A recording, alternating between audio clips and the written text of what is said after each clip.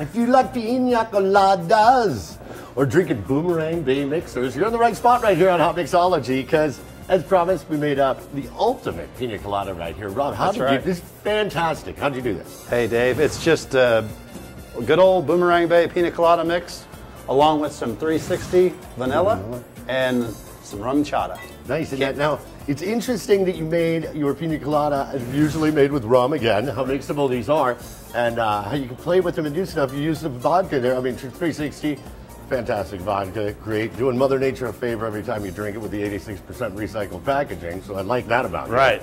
Now, uh, so we use the vanilla vodka in it, and with the RumChata, it's the uh, horchata, kind of like you get in Mexico on the taco cards. There's the real dairy cream in there, Caribbean rum flavor.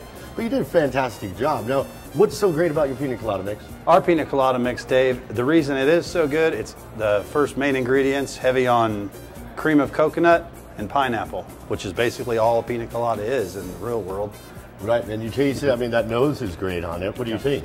You know, it tastes really good. I like the way that it mixes up. It blends the flavors really nicely. And certainly uh, with the 360 vodka and the horchata, it, it's a perfect blend. It's amazing. I mean, I have to tell you, you're the first pina colada in over 200 episodes of Hot Mixology and over 20 years in the business and uh, hanging out at quite a few bars. First pina colada I've had with vodka, and you know, I may change my ways now. Remember, for more information, all the fun, all the flavors that is Hot Mixology, it's where?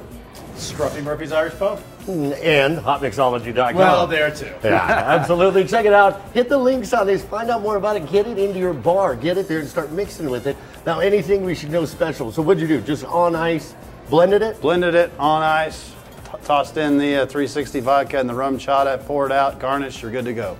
Come down and join us on Boomerang Bay. It's sunny here. It's happy, and we're having a great time. Salute, everybody. Thank you, Rob. Salute.